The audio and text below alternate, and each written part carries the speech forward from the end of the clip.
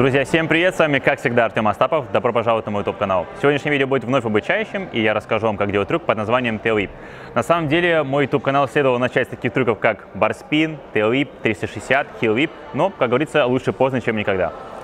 Tail выглядит следующим образом. Необходимо сделать прыжок и прокрутить вашу деку на 360 градусов. То есть вы начинаете движение с двумя ногами на деке, толкаете, дека делает полный оборот, дальше вы снова приземляетесь на деку. Если говорить про историю происхождения этого трюка, то Tailwhip сначала появился на BMX, а потом посредством заимствования появился на самокате. На самокате трюк, понимаете, делать значительно проще. То есть, например, поставить Tailwhip Flat, если вы катаетесь 2-3 месяца, не ставит труда. А если вы на BMX катаетесь год, даже 2 года, не все ставят Tailwhip Flat. Мне кажется, в Санкт-Петербурге человек 5-7 ставит его на ровную поверхность, поскольку это очень сложно. BMX он и тяжелее, и сама техника значительно сложнее. Поэтому на самокате мы Tailwhip научимся примерно через 2-3 месяца, в лучшем случае. Я лично учил мне кажется, месяцев 5-6. Сначала я научился делать э, тэп, фейки, мэнул, то есть все балансовые трюки, а потом уже перешел на барспин и тейлвип. Если сравнивать тейлвип с другими трюками на самокате, возьмем, например, барспин. Барспин можно сделать с небольшим прыжком, то есть нам необходимо только сделать четкий перехват и приземлиться. Если мы будем делать барспин на вылете, то там необходимо хорошо выпрыгивать вверх, необходимо контролировать, чтобы мы сделали четкий перехват, чтобы ноги не слетали с деки. В случае с випом, вип мы сначала учим на небольших подкатах и вылетах, после этого переходим во флет. Это как раз связано с тем, что когда мы делаем tail whip нам необходимо хорошо выпрыгнуть вверх, сильно такую деку, быстро крутить, дальше приземлить, уже напрягивая двумя ногами, держать деку под собой. Очень много моментов, о них я как раз расскажу. Если говорить про расположение рук, ног и корпуса, то руки мы держим как можно шире, то есть они находятся примерно вот в таком положении. Это связано с тем, что чем шире вы держите руки, тем быстрее будет вращение. То есть, например, когда мы делаем барспин, там нет необходимости руки держать широко, мы ставим их поуже, чтобы сделать четкий перехват. Поговорим про расположение ног. Это достаточно важно. Ноги мы ставим примерно вот в такое положение. Мы их ставим как можно ближе к тормозу, примерно под углом 45 градусов, и носочки наших ног свисают с края деки. Выглядит примерно вот так. Такое расположение ног обусловлено тем, что нам необходимо как можно сильнее толкнуть нашу деку в начале движения, а если, например, мы поставим ноги, как, например, если бы мы хотели сделать хил, то вращение будет значительно меньше. Первоначальный толчок будет очень слабым. Тейлвип состоит из двух частей. Это первоначальный толчок, то есть мы толкаем, и это примерно 40% нашего вращения, остальное делают руки. То есть мы напрягаем руки как можно сильнее, напрягаем наши кисти и делаем вращение таким образом, чтобы мы прокрутили деку на 360 градусов. И заключительно это корпус. Когда мы делаем whip нам нет необходимости куда-то наклоняться, то есть тело мы держим ровно, но когда мы делаем tail на каком-то вылете, особенно на резком вылете, там необходимо тело наклонить чуть-чуть вперед. Теперь обсудим достаточно важный момент, а именно, как толкать деку и какой ногой ловить. Здесь очень много вариантов.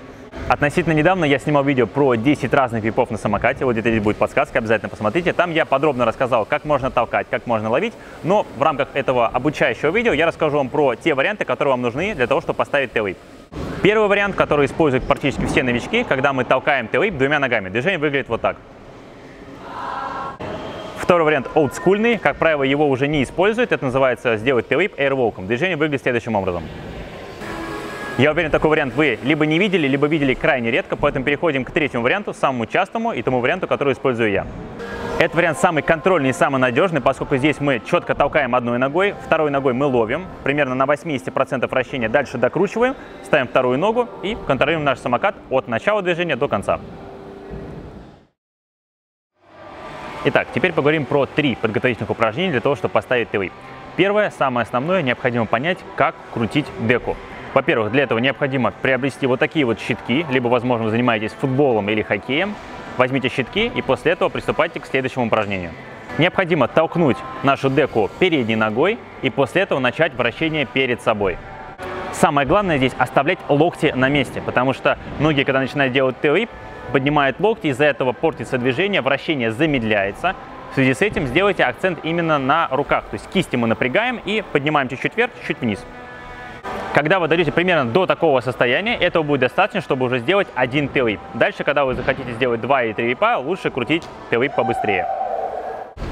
Переходим ко второму и, скорее всего, сразу к третьему упражнению. Многие начинают с вот такого варианта, когда мы ставим переднюю ногу на землю, дальше задней ногой мы толкаем нашу деку, прокручиваем движение и напрыгиваем двумя ногами. Также есть вариант, когда мы стоим на земле, толкаем движение передней ногой, выпрыгиваем вверх, крутим и приземляемся двумя ногами. Скажем так, можно рассмотреть и второй вариант, и третий вариант. Смотрите, как вам будет удобнее, но я, как правило, когда ко мне приходят на тренировку и хотят научиться делать тейлвип, я даю им второе упражнение, после этого мы отрабатываем вращение, когда мы лежим на матах, и после этого мы уже переходим на пирамидку, либо вылет. Мне очень часто задают вопрос, Артем, я вот катаюсь уже три дня, или, например, я катаюсь 2-3 месяца, когда я поставлю тейлвип, почему у меня не получается? На самом деле момент сугубо индивидуальный в плане прогресса, то есть, например, кто-то ставит тейлвип за день, кто-то ставит ТЛИ за полгода. Лично я, как я уже говорил ранее, я ТЛИ получил достаточно долго, то есть сначала научился делать балансовые трюки, а потом уже перешел на барспин ТЛИ. Насколько я помню, если я не ошибаюсь, я ТЛИ поставил примерно через 5, может быть даже 6 месяцев своего катания. И если говорить про мой личный рекорд по тренировкам, ко мне пришел ученик, его зовут Леша Кравцов, он до сих пор катается, но не так часто, он уже совсем взрослый. Тогда ему было где-то лет 14. Он поставил ТЛИ с нуля за 46 минут. Я себе записал, я смотрел потом попытки, когда мы начали его делать, когда мы закончили. Я думаю, если я найду, то я вставлю видео, где он поставил свой первый ТЛИ.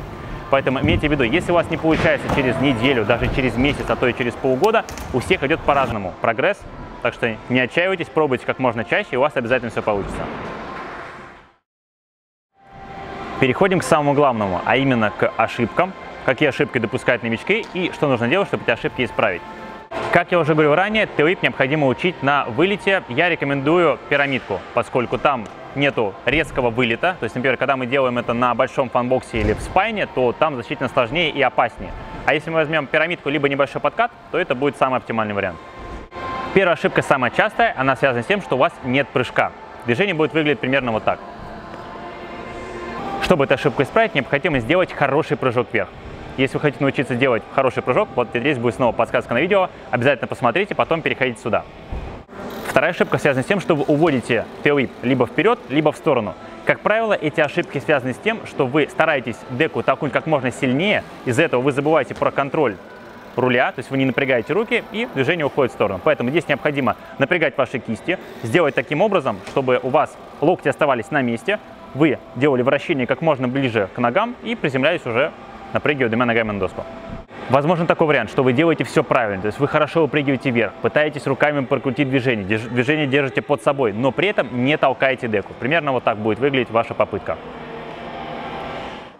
Как правило, это связано с двумя моментами. Первое – это правильное расположение ног, об этом я говорил ранее. Если вы правильно ставите ноги, там необходимо носочками, то есть у вас пальцы ног свисают с деки. И нужно носочками как можно сильнее толкать, то есть цеплять вашу шкурку и выталкивать движение. Только после этого вы получите правильный тейлвип. Возможен и такой вариант. Вы хорошо толкали деку, хорошо прыгнули вверх, держали движение под собой, все контролировали, но в начале движения вы наклонились назад. Это, как правило, связано с тем, что вы подъезжаете к пирамидке либо к резкому квотеру, и вы сохраняете этот угол в самом начале движения. То есть вы идете, скажем так, как будто у вас квотер не заканчивается. И в этом случае необходимо наклоняться вперед, но наклоняться в меру. Опять же, если квотер слишком резкий, необходимо наклониться вперед. Если вы делаете трюк на пирамидке, можно либо держать корпус ровно, либо чуть-чуть наклониться, но ни в коем случае не наклоняйтесь назад.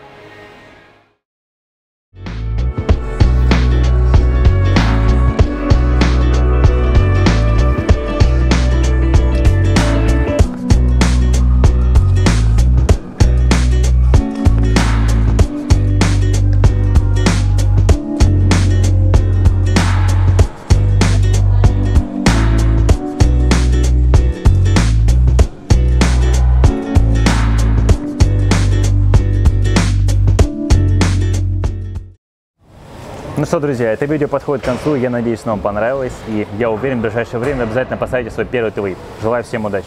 Если у вас вдруг не получается, приходите ко мне на тренировку, я всех научу.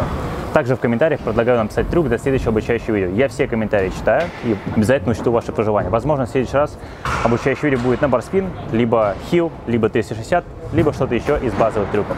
С вами был Артем Остапов, увидимся в новом видео. Всем пока!